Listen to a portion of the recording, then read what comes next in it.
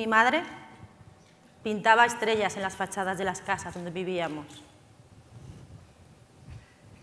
Os preguntaréis en dónde se vive con estrellas pintadas en las fachadas. Bien, se vive en comunidades y en comunas hippies. Yo me crié en un lugar donde cuando tenías un aguacatero, cada mañana recogías los que habían caído al suelo, guardabas los que necesitabas para ti y los demás los dejabas en la puerta de tu casa para que los recogieran los demás. Yo me crié en un lugar donde por la mañana no ibas a la tienda o al supermercado, paseabas por la ciudad, por aquel pueblo, por aquella comunidad y recogías de las puertas de otras personas queso, pan, huevos. La educación que me dio mi madre, sin duda, ha marcado la persona que soy. Ella, desde siempre, me decía, no te voy a decir que está bien o que está mal. Pregunta, indaga, investiga. Y cuando hayas preguntado, investigado, leído lo suficiente, entonces intenta sacar el juicio más justo, la conclusión más justa de lo que estés pensando. Bien, mi madre era una persona con una fe infinita en el ser humano. Para que entendáis lo infinita que era la fe de mi madre en el ser humano, tengo que contaros algo muy íntimo, algo que no suelo contar y algo que me duele horrores recordar.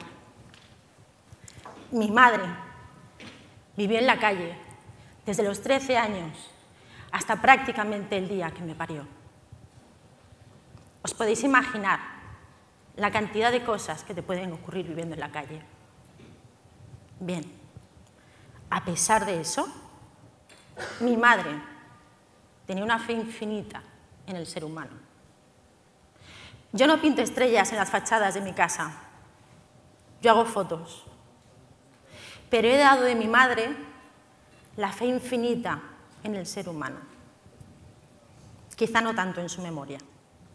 Pero para eso están las fotografías, para recordarnos quiénes fuimos, quiénes somos, qué hemos construido y qué hemos destruido.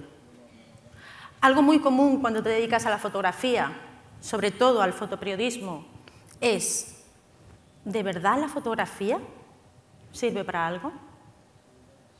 Yo estoy convencida de su importante papel en nuestras vidas. Valencia, calle Bello, Puerto, febrero de 2001.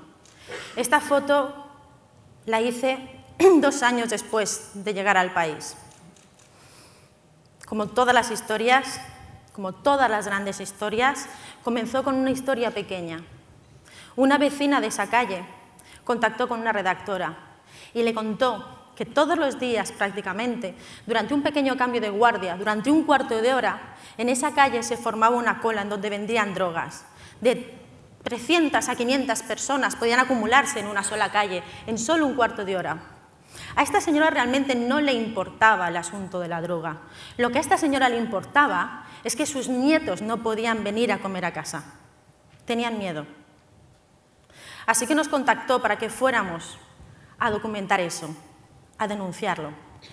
Fuimos un par de veces y no conseguimos la imagen. Recuerdo a mi jefe diciéndome, Tania, no vuelvas, aquello es un bulo. Pero volvimos. La tercera vez que fui a hacer esta foto, parecía que no iba a ocurrir nada, pero de pronto aquella vecina dijo, ahí están, va a ocurrir, se va a formar la cola. Efectivamente se formó. Recuerdo que me tumbé en el balcón para hacer aquella foto sin que me vieran. Pensé inmediatamente, es una buena foto, tengo la foto, pero no es el tiro perfecto. Conseguimos convencer a la vecina de arriba que estaba muerta del pánico por las represalias que pudiera sufrir si me dejaba entrar. Finalmente me dejó entrar. Hice la foto que veis. Esa foto se publicó. Al día siguiente se pidió la dimisión del delegado de gobierno. Se compartió en muchísimos periódicos. Se causó una excepcionalidad enorme. La publicó el país, pero era tan importante, suponía tanto, que el Levante la publicó como suya, firmada por el país. Bien, para mí fue muy emocionante tras la publicación como fotógrafa. Al día siguiente, Iñaki Gabilondo, Iñaki Gabilondo, abrió el telediario hablando de mí, de mi trabajo, dándome las gracias. Podéis imaginar para una fotoperiodista qué supone eso. Al día siguiente, todos los medios de comunicación se hicieron eco y se duplicaron la, la presencia policial en esta calle. La vecina estaba muy contenta. Sus nietos volvían a casa a comer. Hace tres semanas alguien me etiquetó en un grupo de Facebook sobre esta imagen.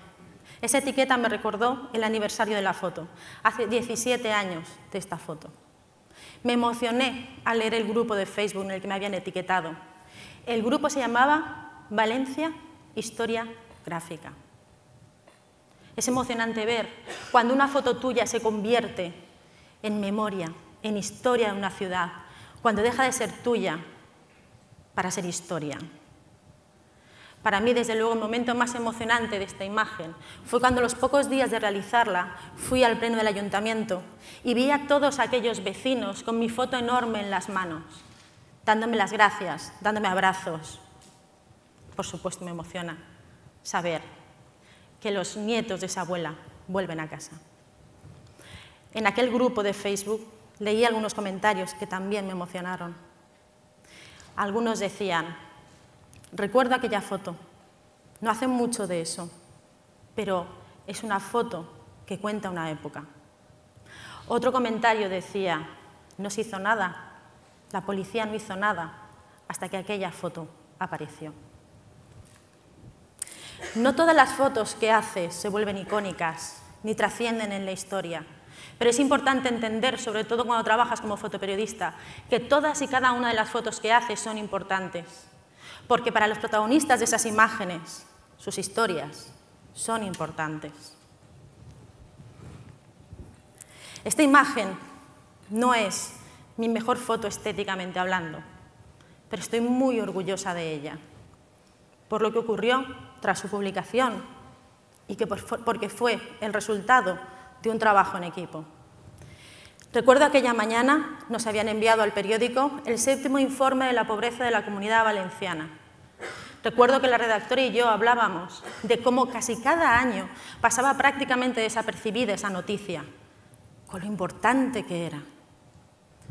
Recuerdo que decidimos salir a buscar a la calle una, una historia tan rotunda que hiciera que todo el mundo se girara a leer aquel informe. Nos fuimos a la puerta de la Casa de la Caridad y nos quedamos unas cuantas horas. A veces pasa, cuando eres fotoperiodista, que ves a una persona y dices, es ella. A mí me ocurrió cuando la vi entrar a ella, con sus dos hijos, con sus mochilas de cole.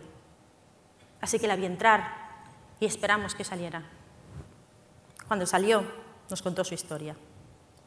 Ella es Petra, tenía 37 años y dos hijos, uno de 7 y uno de 9 años. La empresa en la que trabajaba quebró. Su marido lo habían operado de cervicales y no podía trabajar.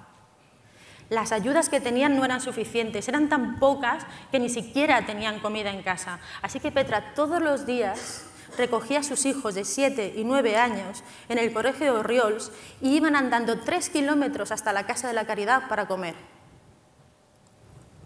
Comían muy deprisa, porque los niños necesitaban volver al colegio después a seguir dando clase.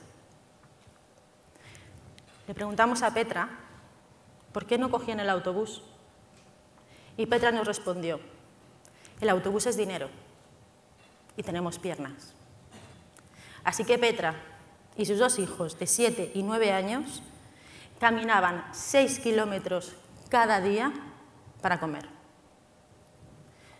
Cuando publicamos esta historia, los medios de comunicación se hicieron eco inmediatamente de la historia de Petra y del séptimo informe de la pobreza de la comunidad valenciana. Estábamos muy orgullosas. Y además, lo más importante, Petra encontró ayuda, encontró trabajo y hoy sus hijos comen en casa. Después de contaros estas historias, estoy convencida de que entenderéis de que no me considero un idealista por pensar que una fotografía puede cambiar el mundo. La fotografía es nuestra memoria, nuestra historia, la de todos. La fotografía es una herramienta de cambio social. Es un arma potentísima de comunicación que va directo a nuestra retina, a nuestro estómago y a nuestro corazón. Para acabar, os voy a invitar a mirar dos imágenes. Refugiados, guerra civil. Un padre lleva a su hijo en brazos. Buscan refugio, comida, paz.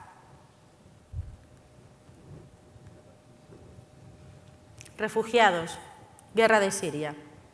Un padre lleva a su hijo en brazos. Buscan refugio, comida, paz. Estas dos imágenes nos dan la perspectiva de cómo estamos construyendo el mundo. Yo os invito a que las recordéis, a que las almacenéis en vuestra retina, en vuestro estómago y en vuestro corazón, ya que trabajemos en equipo para no repetir una tercera foto igual. Gracias.